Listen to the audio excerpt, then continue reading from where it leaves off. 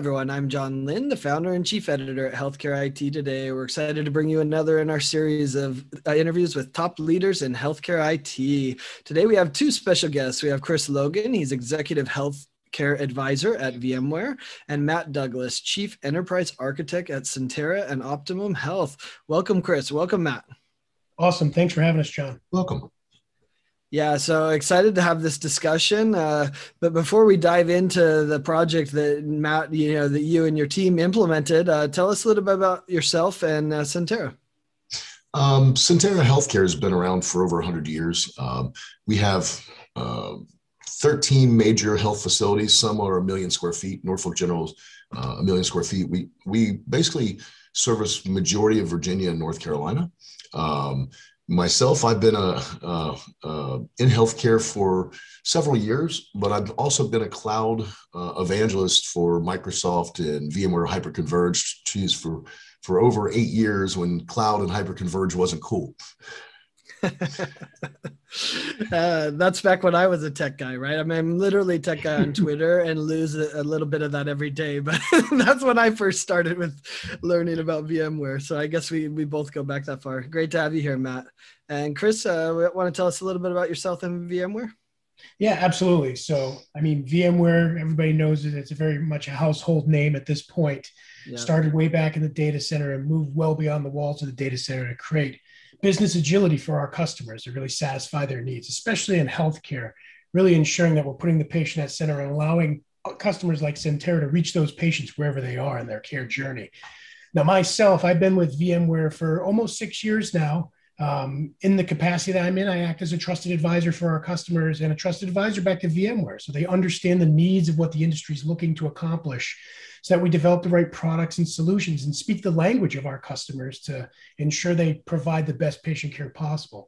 Prior to my time at VMware, I was a chief technology and chief information security officer for two large health systems for well over a decade, and another decade worth of experience before that in many different industries and verticals. You're trying to age yourself, I think, but you still look good though. yeah, yeah, you look great, Matt. It's hard to imagine you've accomplished all that. So, uh, Matt, uh, tell us about what was your situation with your legacy virtual solution, and why did you choose to move to the VMware vSphere and vSAN running in, you know? And I love that you're you're running it in the Azure cloud as well. So, what was your you know what was your previous solution, and why did yeah. you choose this? You know, previously, um, Epic, which one of, is one of the largest EMRs, um, we actually truly the largest EMR, we were running on legacy AIX hardware. We were running a, an alternative presentation layer solution. Um, it didn't scale uh, to meet our needs. We, we have over 16,000 to 20,000 clinicians leveraging our EMR at any given time. And in order to, to maintain that, in order to, to grow the capacity, it was all physical infrastructure. It was all in, independently managed, independent servers. Moving to vSphere and uh, vSAN allowed us to do consistency where we could actually update the images, do maintenance um, at, at any given time without having to, to take down an entire system.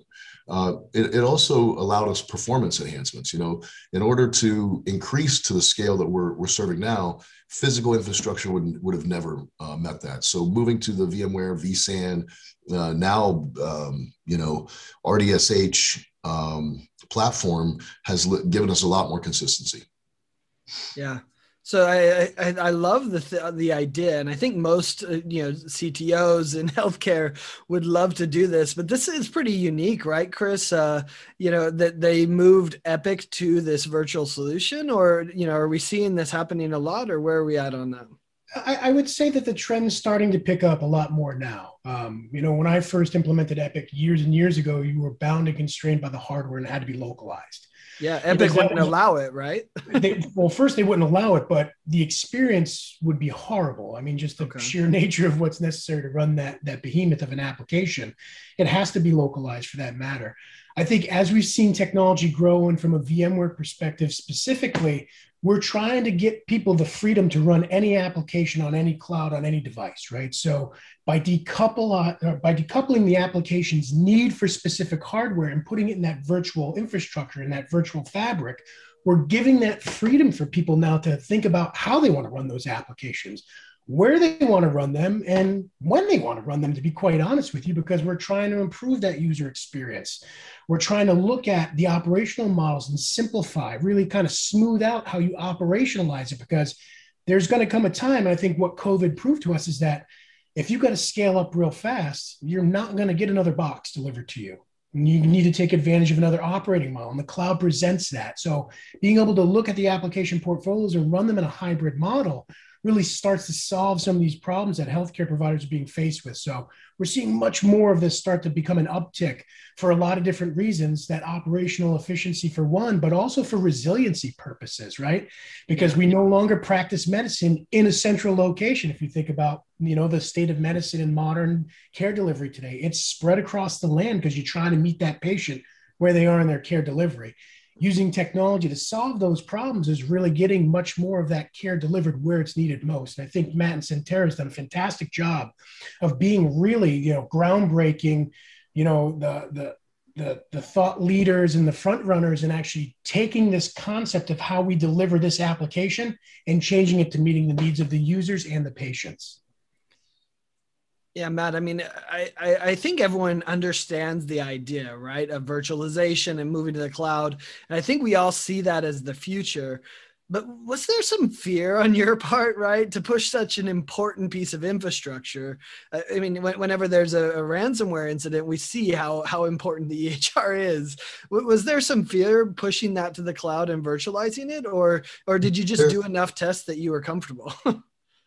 No, no, there wasn't. You know, coming to Sentara and Optima Health, I, I, had already done cloud technology. I've done over 200 cloud strategies for Fortune, you know, the Fortune 100, and also hyperconverged strategies um, for VMware. Um, doing Costco's initial analysis on doing hyperconverged, you know, years ago.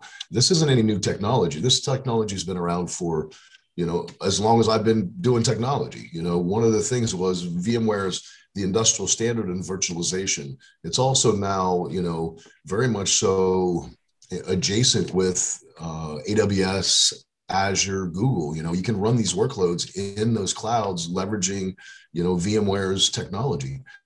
So it, it's it's not something that was scary. The scary part was not moving it. You know, mm. a lot of the ransomware I've seen now, you know, being an advisor for for a lot of healthcares, um, that wants to see how we, we're, we're building our workloads and where we're putting them. The, the, scary part is when they're breached, it's it's not in the cloud, it's not in the hyperconverged portion, it's in the legacy stack that's that's you know where where breaches are happening. It's happening in your old legacy. I don't want to use the competitor's name, but in the old legacy Citrix environment that hasn't been patched or hasn't been maintained in decades. It's sitting behind a public facing website that's where you're getting breached where dual factor authentication was never in play.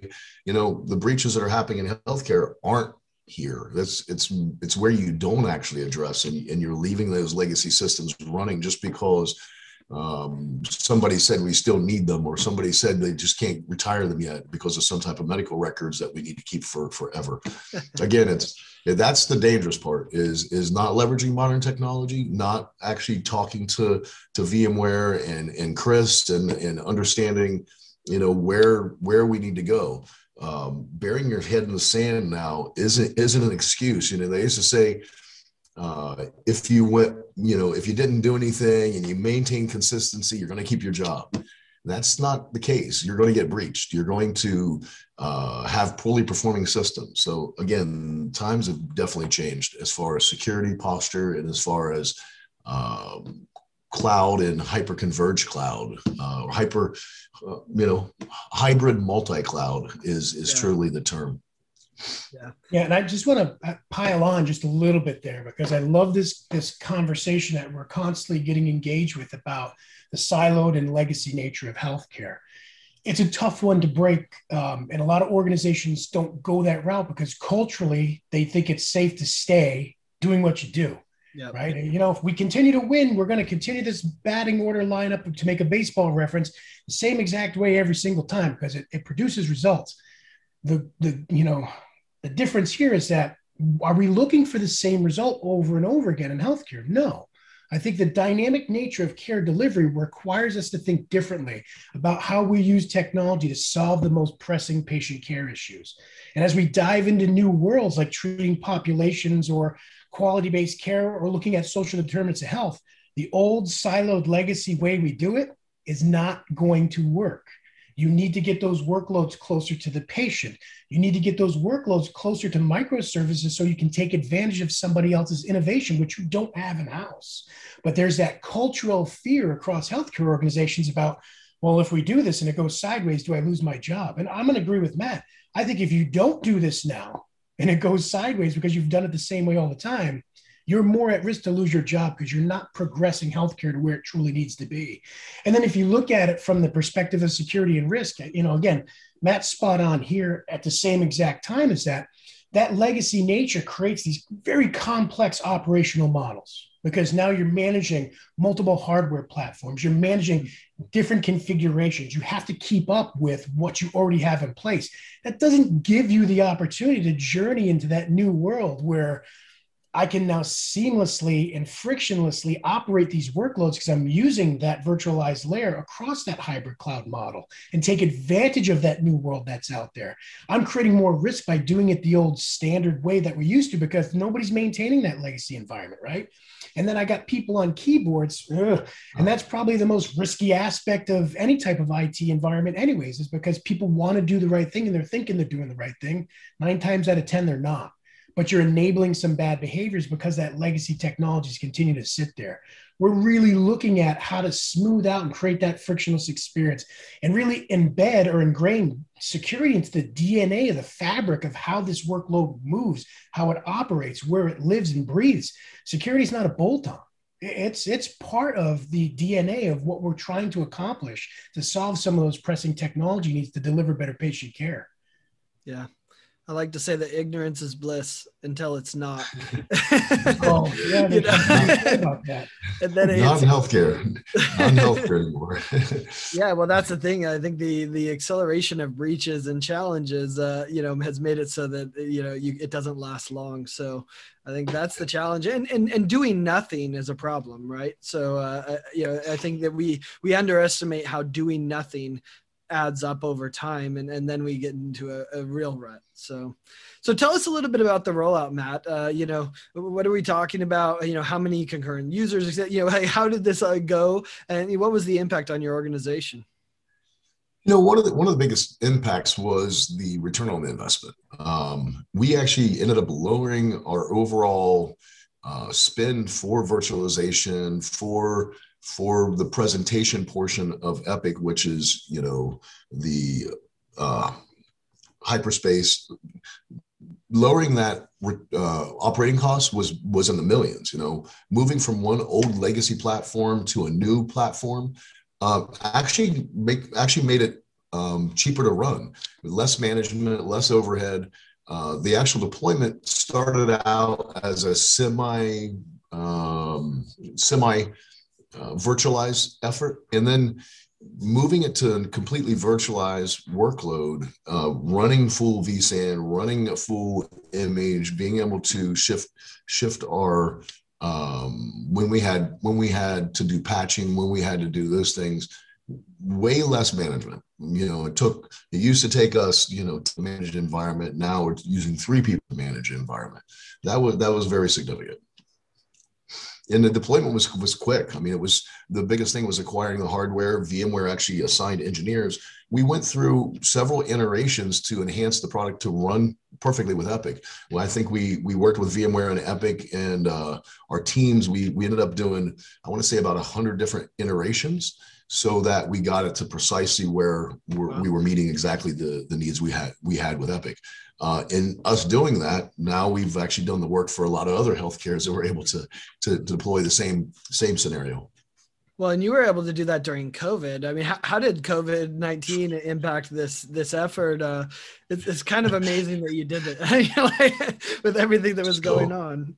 so it was it was multifold. You know, COVID, uh, I had actually had a, another interview with Chris during the middle of COVID. I mean, I was in my car trying to get food, you know, all, in the middle of an upgrade. We we had we had done another interview.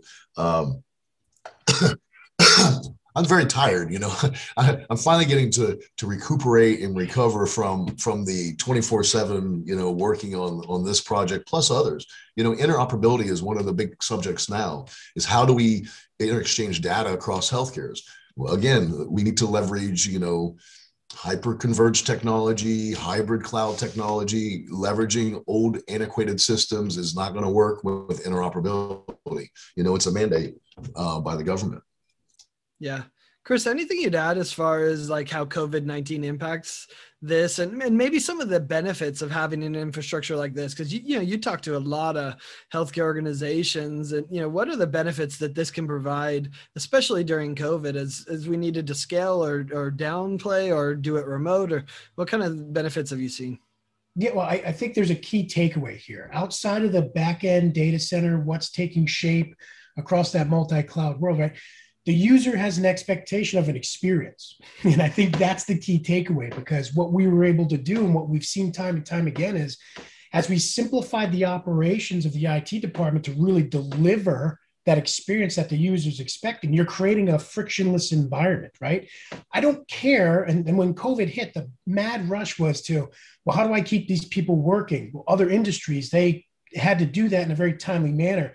Healthcare kind of kept a portion of the workforce here because you're going to take patients on the floor, but then using some of what we learned with the technology and then moving some of those non-essential workers home, you create an experience for them to be able to work the same exact way they did, whether at their desk within the hospital or within the home. The platform was the key there.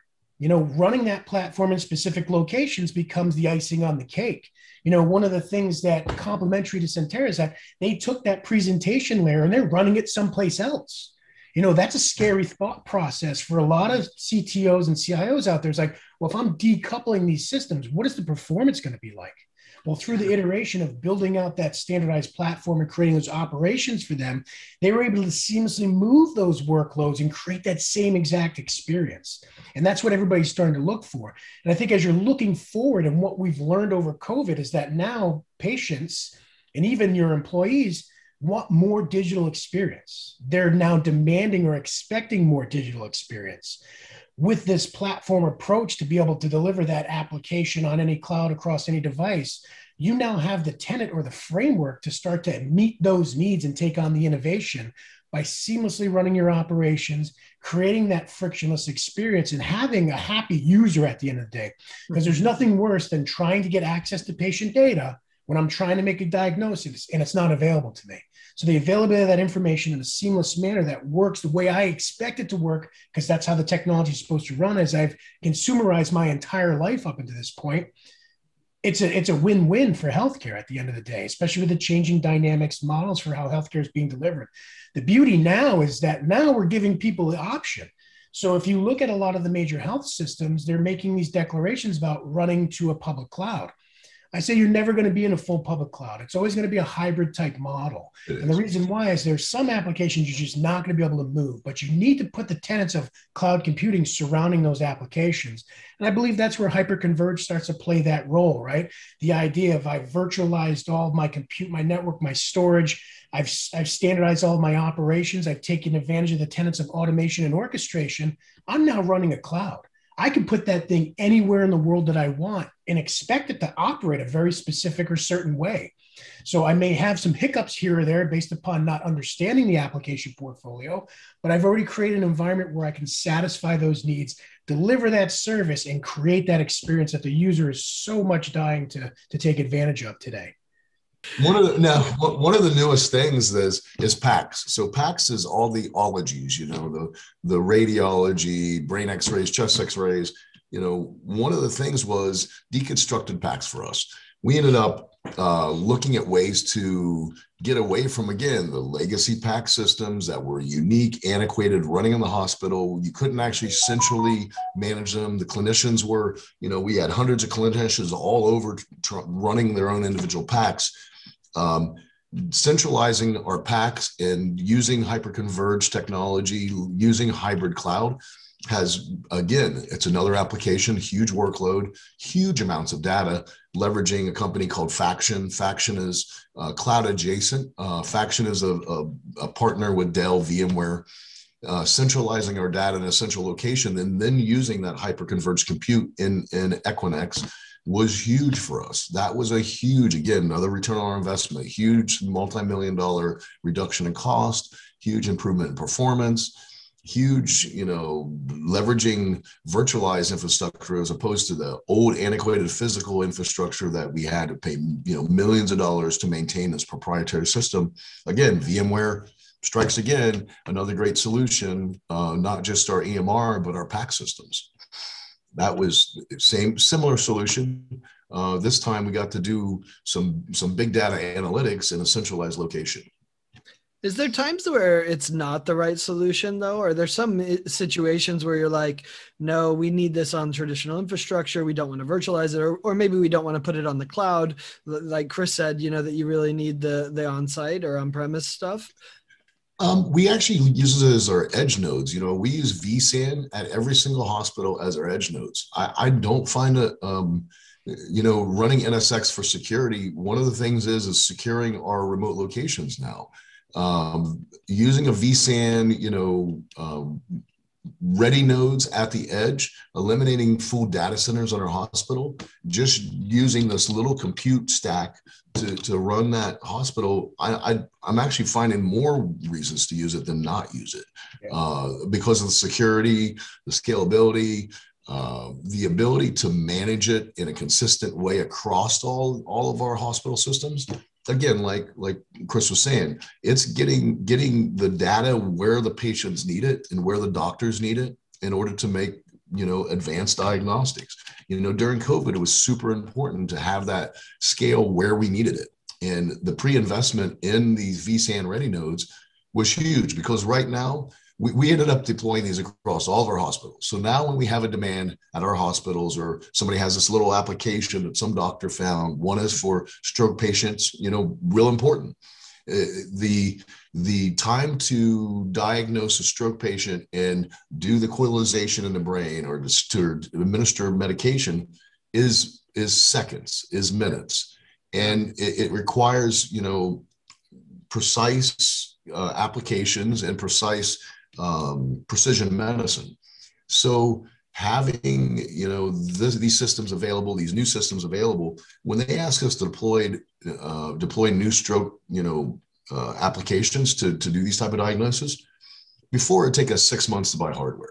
It would take six months to get the, you know, take several months to get the hardware, take us time to, to, to configure their hardware, get it racked, get all these things now having that hyper converged infrastructure at where I need it at scale across the the entire you know enterprise, it takes me a day or a week to deploy that same application anywhere, anytime. You know, and the demand, of Chris was saying, the demand that I'm seeing now, the ideal demands that are coming in are just nonstop daily. We've we've opened the floodgates of hey, we can accomplish things now.